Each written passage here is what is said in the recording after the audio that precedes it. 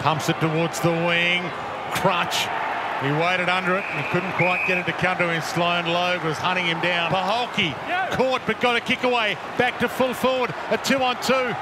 Logue, spectacular fist. And launches it to centre half forward. Frampton caught behind. Logue palmed it down nicely. Brayshaw got there ahead of him. Frampton ran into Logue. Drops him.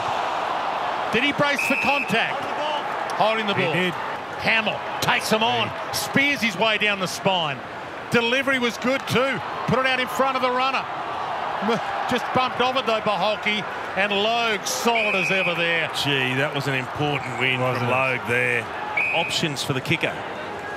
Logue, Conca. Will they get the reward? Well, he ducked into that Hughes.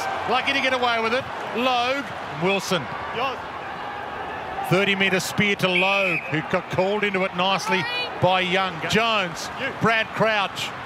Heads into space. Tex, well, he fed the wrong way, and Logue beat him hands down. Corralled by Wilson.